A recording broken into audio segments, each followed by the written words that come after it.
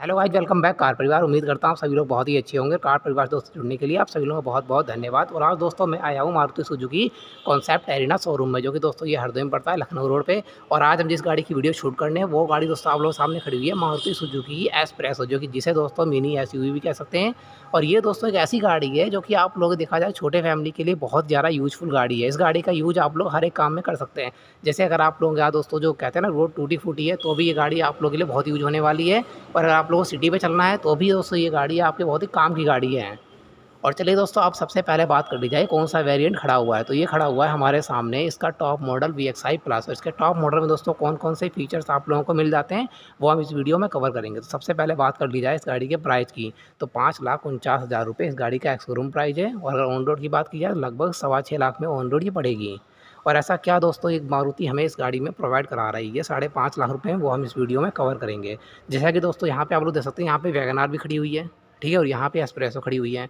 तो देखा जाए तो इन दोनों के प्राइस में कोई खास ज़्यादा डिफरेंस नहीं है। और चलिए सबसे पहले बात कर ली जाए इसके top model V X I plus में जो हमें की मिलती है, किस तरीके से की मिलती है, जैसे आप लोग, इसके अंदर दोस्तों एक की हमें मिल जाती है, सिंपल की मिलती है और एक की हमें मिल जाती है सेंट्रल लॉक के साथ में मिल जाती है। और चलिए अब देख लेते हैं इस गाड़ी का फ्रंट लुक तो फ्रंट दोस्तों काफ़ी अच्छी गाड़ी लगती है। दूर से दिखने में यही लग रहा है, जैसे कि मानो कोई मिनी ऐसी हुई है।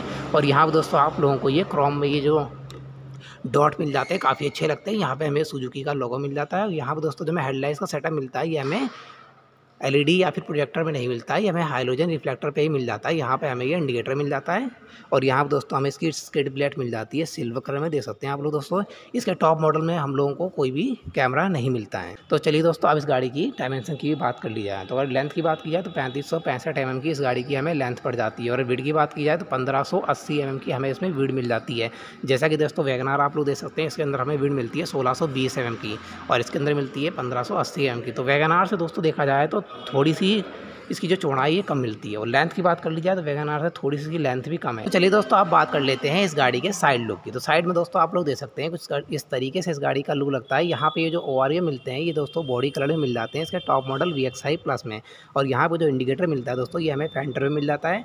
और डोर एंडल्स आप लोग देख सकते हैं बॉडी कलर में मिल जाता है। यहाँ पर दोस्तों, हमें प्लेट मिल जाती है, जो कि ये सिल्वर कलर में मिलती है। गाड़ी को और भी ज़्यादा अच्छा प्रेजेंस लुक देती है। जैसा कि आप लोग दोस्तों देख सकते हैं, इसके अंदर आप लोगों को एक सौ चौरासी एम का ग्राउंड केस मिल जाता है अच्छा खासा ग्राउंड केस मिल जाता है। और अगर दोस्तों इसके टायर की प्रोफ़ाइल की बात कर ली जाए तो इसके अंदर आप लोगों को चौदह इंच के टायर्स मिल जाते हैं, एक सौ पैंसठ, सत्तर, आर फोर्टीन, जो कि दोस्तों काफ़ी अच्छे बड़े साइज़ में मिल जाते हैं, जो कि एम कंपनी के मिलते हैं।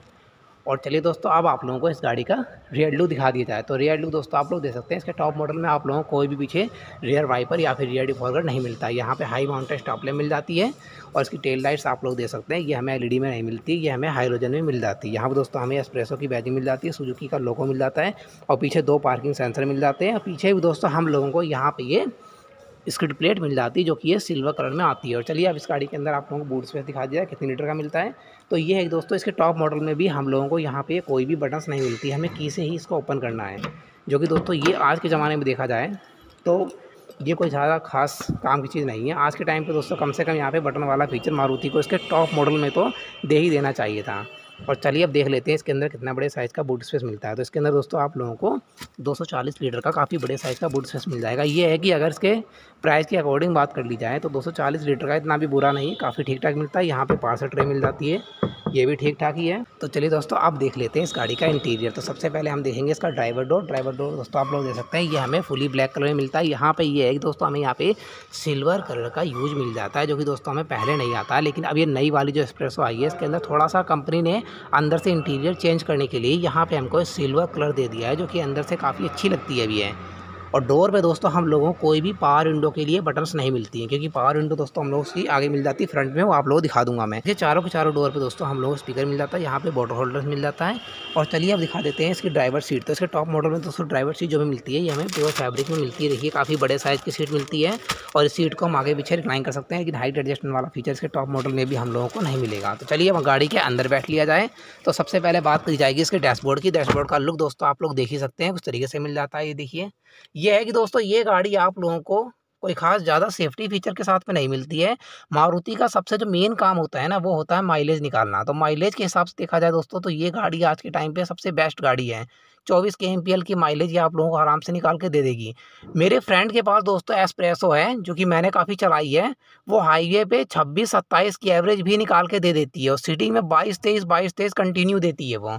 तो माइलेज के लिए देखा जाए तो, तो माइलेज माइलेज का जो राजा है वो यही है ये और एक सेलेरियो ये दो गाड़ियाँ दोस्तों ऐसी बहुत ज़्यादा माइलेज निकाल के देती हैं। और यहाँ दोस्तों इंटीरियर का लुक आप लोग देख ही सकते हैं उस तरीके से मिल जाता है ये। तो चलिए बात कर ली जाए इसकी स्टेयरिंग की। तो स्टेयरिंग दोस्तों, जो हमें मिलता है स्टेयरिंग पे ही हमें यहाँ पे कंट्रोल्स मिल जाते हैं। देखिए मुझे वॉल्यूम कम ज़्यादा कर सकते हैं फ़ोन कॉल अटेंड कर सकते हैं। इसकी ब्राइटनेस को कम ज़्यादा भी हम यहीं से कर सकते हैं। और अगर दोस्तों सेफ्टी की बात की जाए तो सेफ्टी के लिए दो एयरबैग मिल जाते हैं यहाँ पे और एक कोडर पैसेंजर के आगे मिल जाता है और कोई एयरबैग इसमें नहीं मिलेगा। और स्टेयरिंग भी देख लेते हैं टेल्थ मिलता है टेलीस्कोप मिलता है। तो स्टेयरिंग भी दोस्तों, ये हमें बिल्कुल ही फिक्स मिलता है, ना ही टेल्थ ना ही टेलीस्कोपिक और ये इसके दोस्तों एसी वेंट्स हमें उस तरीके से मिल जाते हैं। मुझे इसके एसी वेंट जो है, उनसे मुझे कोई भी प्रॉब्लम नहीं है, मुझे बहुत अच्छा लगा। मुझे प्रॉब्लम आती है सिर्फ़ वैगन आर के एसी वेंट से, क्योंकि वो हमें यहाँ पड़ते हैं, लेकिन इसके एसी वेंट सही जगह पर फिटिंग मारुति ने दे रखे हैं। और चलिए अब देख लेते हैं ड्राइवर सनवाइजर तो ये दोस्तों हमें बिल्कुल ही प्लेन मिलता है, कोई टिकट होल्डर नहीं। और यहाँ पे दोस्तों हमें जो को ड्राइवर पैसेंजर मिलता है यही बिल्कुल ही प्लेन मिलता है। और ये आई आर जो हमें मिलता है डे नाइट के साथ में नहीं मिलता है। ये देखिए। कम से कम ये तो थोड़ा मारुति को इम्प्रूवमेंट लानी चाहिए थी, ये तो सौ रुपये की चीज़ है, ये तो कम से कम मारुति को दे ही देनी चाहिए। और कैबिन लाइट्स ये हेलोजन मिल जाती है, जैसे कि उम्मीद कर सकते हैं आप लोग। जब ब्रेजा के टॉप मॉडल में जो कैबिन लाइट्स आती है दोस्तों, वो भी हेलोजन में आती है, जिसकी मैंने वीडियो अभी जस्ट शूट की है। और यहाँ पर दोस्तों चलिए देख लेते हैं sir glove box glove box जिसके अंदर मिलता है, ये ठीक ठाक डिसेंट साइज़ का ही मिल जाता है। ये गाड़ी दोस्तों एक ऐसी गाड़ी है छोटे परिवार के लिए बहुत अच्छी है, या फिर जिसको टूटी फूटी रोडों पर चलना होता है, जिसके यहाँ रोड अच्छी नहीं बनी है, उसके लिए गाड़ी दोस्तों बहुत अच्छी है। और यहाँ पर हमें इसके ए कंट्रोल्स मिल जाते हैं, देखिए, जो कि ऑटोमेटिक तो नहीं आता है लेकिन ये भी चलिए काम चला देगा। यहाँ पे बारह वोल्ट का चार्जिंग शॉट मिल जाता है, देखिए। यहाँ पे यू एस बी ऑप्शन करने के लिए भी हमें यहाँ पे स्पेस मिल जाता है। अभी पन्नी हटाई जाए पहले। तो यहाँ पर दोस्तों आप लोगों को दो कप होल्डर मिल जाते हैं। यहाँ पर थोड़ा सा स्पेस मिल जाता है जो कि कोई भी काम का नहीं है। जैसे इसमें तो आप अपना मोबाइल भी नहीं रख सकते हैं। और यहाँ पर दोस्तों हमें इसका गेयर नॉब मिल जाता है। ये गाड़ी हमें फाइव स्पीड मैनुअल गेयर और ऑटोमेटिक दोनों के दोनों वेरियंट्स पे अवेलेबल है। फ़िलहाल जिसकी वीडियो शूट कर रहे हैं, ये खड़ी हुई है मैनुअल में। क्योंकि ज़्यादातर दोस्तों शोरूम में गाड़ियाँ मैनुअल में ही आती हैं ऑटोमेटिक बहुत कम आती हैं। और ये दोस्तों हमें इसकी हैंड ब्रेक मिल जाती है। देख सकते हैं आप लोग ब्लैक कलर मिलती हैं। और कोई भी हमें इसमें ऐसा कोई खास स्पेस नहीं मिलता है। और चलिए दोस्तों, अब देख लिया जाए, इस गाड़ी के अंदर हम लोगों को इंस्ट्रूमेंट क्लस्टर किस तरीके का मिलता है। तो सबसे पहले हम इसकी की लगाएँगे। की दोस्तों, आप लोग देख ही पा रहे हैं किस तरीके से मिल जाती है हमें इसमें। तो इस गाड़ी के अंदर दोस्तों, आप लोगों को जो इंस्ट्रूमेंट क्लस्टर मिलता है, उस तरीके से मिल जाता है। देख सकते हैं आप लोग दोस्तों, यहाँ पर हमें मिल जाता है, जो कि मुझे खासकर बहुत ही अच्छा लगा है। ये देखिए दोस्तों, इसके अंदर आप लोग अपनी ट्रिप एडजस्ट कर सकते हैं। टू ट्रिप के साथ में ये गाड़ी आती है और इसके अंदर आप लोग अपनी माइलेज चेक कर सकते हैं। गाड़ी क्या है एवरेज निकाल के दे रही है, कितने किलोमीटर ये गाड़ी चली हुई है और ये जो इसकी एमआईडी मिलती है, बहुत ही अच्छी लगती है मुझे, खासकर जब ये गाड़ी चलती है तो इसके काफ़ी बड़ी स्क्रीन में हम लोग यहाँ पर दिखाई देता है। ये देखिए। और इसके अंदर दोस्तों, आप लोगों को यहाँ पर ये छोटी सी ये टच स्क्रीन डिस्प्ले मिल जाती है, जो कि कोई भी ऐसे खास काम की तो नहीं है, लेकिन ये है कि इसमें आप लोग गाने वाने बजा सकते हैं। एक चीज़ में और दोस्तों, आप आप लोगों को एक और कंफर्म कर देता हूँ कि इसके टॉप मॉडल में हम लोगों को पीछे कोई भी रिवर्स कैमरा नहीं मिलता है। सॉरी दोस्तों, पीछे कोई भी रिवर्स कैमरा नहीं मिलेगा आप लोगों को एस्प्रेसो को टॉप मॉडल में, जो कि आप लोगों को बाहर से ही लगवाना पड़ेगा। चलिए अब इसको बंद कर दी जाए।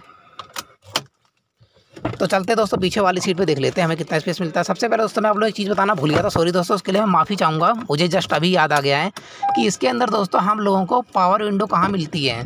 देखिए ड्रॉर पर दोस्तों, हमें कोई पावर विंडो के लिए बटन नहीं मिलती है। तो पावर विंडो दोस्तों, हमें इसकी यहाँ पर मिल जाती है, देखिए। एसप्रेसो में दोस्तों, इसके टॉप मॉडल में हमें यहाँ पर पावर विंडो मिल जाती है। देख सकते हैं दोस्तों, आप लोग, जो कि हमें ऑटो डाउन या ऑटो अप किसी भी फीचर के साथ में नहीं मिलती है। और यहाँ से दोस्तों हम अपने ओ को अंदर से इलेक्ट्रिकली एडजस्ट कर सकते हैं, लेकिन अंदर से इलेक्ट्रिकली फॉल्ट नहीं कर सकते। एक बार मैं आप लोगों को दिखा देता हूँ ये भी। ये देखिए। ये देखिए दोस्तों, ये देखिए, ये काम कर रहा है। ये देखिए, है। तो इसको अंदर से हम इलेक्ट्रिकली एडजस्ट कर सकते हैं, लेकिन अंदर से इलेक्ट्रिकली फ़ोन नहीं कर सकते। यहाँ पर दोस्तों हमें आइडल स्टार्ट सॉप का फीचर मिल जाता है, जिससे कि हमारी माइलेज और भी इम्प्रूवमेंट हो जाती है। जैसे ट्रैफ़िक में अगर हमारी गाड़ी खड़ी है, पाँच सेकंड से ज़्यादा देर के लिए तो गाड़ी ऑटोमेटिक बंद हो जाएगी और हम क्लच प्रेस करते हैं तो गाड़ी ऑटोमेटिक स्टार्ट हो जाएगी। और ये दोस्तों इसकी पैडल्स हमें इस तरीके से मिल जाते हैं, इसमें हमें कोई भी डेड पैडल नहीं मिलता है। ऐसा कोई खास दोस्तों हमें इस गाड़ी के अंदर बताने वाला फीचर नहीं, मुझे अभी तक तो नज़र आया कोई भी यहाँ पर हमें थोड़ा सा स्पेस मिल जाता है, जो कि पता नहीं किस लिए है। ये है कि यहाँ पर अपना आप मोबाइल रख सकते हैं। तो चलिए अब देख लेते हैं, पीछे वाली थर्ड पीछे वाली जो सेकंड रो मिलती है, उसमें हमें कितना स्पेस मिलता है। आइए। तो सबसे पहले दोस्तों बात कर ली जाए इसके पीछे वाले डोर की। तो पीछे वाला डोर दोस्तों जो हमें मिलता है, उस तरीके से मिल जाता है। यहाँ पे हमें कोई पावर विंडो नहीं मिलती है, इसको हमें हाथ से मैनुअली अप डाउन करना होगा। और यहाँ से दोस्तों हमें ग्रैब मिलता है, जो जो कि अंदर से दोस्तों ये मिलता है हमें ब्लैक कलर में। और यहाँ पीछे वाले डोर पे भी हमें यहाँ पे ये कंपनी ने दोस्तों यहाँ पे हमें सिल्वर कलर दे दिया है, जो कि आगे वाले डोर पे भी मिलता है, पीछे वाले मिलता है। इससे गाड़ी का जो लुक है थोड़ा सा चेंज हो जाता है अंदर से। और चलिए इसकी सीट की बात कर ली जाए पीछे वाली सीट हमें किस तरीके से मिलती है। तो पीछे वाली सीट दोस्तों हम लोगों को ये मिलती है, ये भी ठीक ठाक ही मिलती है, प्योर फैब्रिक में तो नहीं मिलती, लेकिन ये है कि इसकी कोशन जो है बहुत ही ठीक ठाक है, ज़्यादा हार्ड नहीं है और ज़्यादा सॉफ्ट भी नहीं है।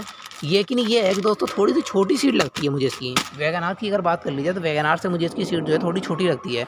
और पीछे दोस्तों जिसके हेडलेस मिलते हैं, ये फिक्स मिलते हैं। काफ़ी बुरी बात है। आगे भी हेड स्पीड मिलते हैं, लेकिन आगे वाले चल जाते हैं। वो कोई खास दिक्कत नहीं देते, लेकिन पीछे वाले नहीं चलते हैं। पीछे वालों सबसे बड़ी दिक्कत पता क्या होती है? अगर हम बैठते हैं ना तो हमारा जो सर होता है, वो दोस्तों ऊपर निकल जाता है इसके। और अगर हमारी हाइट ज़्यादा है छः फीट के आसपास है तो तो इसकी कोई हमें, ये हमारे कोई काम के नहीं देखा जाए तो। और इसके टॉप मॉडल में पीछे कोई भी हमें आर्म रेस्ट नहीं मिलता है, ना ही पीछे मिलता है ना ही आगे मिलता है। और अगर दोस्तों इस सीट की चौड़ाई की बात कर ली जाए तो आप लोग दोस्तों दे सकते हैं, ये सीट हमें ठीक ठाक ही चौड़ाई मिलती है है इसके अंदर पीछे तीन बंदे तो नहीं बैठ पाएँगे, लेकिन दो बंदे बहुत ही आराम से कंफर्टेबल बैठ सकते हैं। और अगर दोस्तों स्पेस की बात कर ली जाए तो आगे वाली जो ड्राइवर सीट है, वो मैंने अपनी हाइट के अकॉर्डिंग एडजस्ट रखी है, जैसे कि गाड़ी में चलाता हूँ, वैसे ही। और अब देखते हैं इसकी पीछे वाली सीट पे कितना स्पेस मिलता है। तो पीछे वाली सीट पे दोस्तों अच्छा खासा स्पेस मिलता है। साढ़े पाँच फिट के बंदे के अगर हिसाब से देखा जाए, जैसे कि साढ़े पाँच फिट का बंदा आगे गाड़ी चलाता है, साढ़े पाँच फिट का बंदा पीछे बैठता है तो उसे इतना स्पेस मिलता है, ये देखिए। लेग रूम अच्छा खासा मिल जाएगा थाई सपोर्ट थोड़ा सा कम है। अगर आप सैलरियो या फिर वैगन आर से कंपेयर करते हैं, क्योंकि प्राइस की बात भी कर ली जाए ना तो ये आप लोग साढ़े सवा छः लाख रुपए में ऑन रोड मिल जाएगी, और सवा छः लाख में वैगन आर का तो बीस मोटर भी नहीं मिलना है। उस हिसाब से देखा जाए प्राइस के हिसाब से ठीक ठाक ही है। मेरे हिसाब से इसका जो मार्केट में असली जो कॉम्पिटिटर है, वो है ओल्टो वैगन नहीं दोस्तों ओल्टो है। और ये इसके जो ग्रैब हैंडल्स मिलते हैं, ये दोस्तों हमें फोल्डेबल नहीं मिलते हैं, बिल्कुल ही फिक्स मिलते हैं। रूफ आप लोग देख ही सकते हैं अंदर से, कुछ इस तरीके से मिल जाती है। पीछे यहाँ पर दोस्तों कोई भी एसी वेंट्स नहीं मिलता है।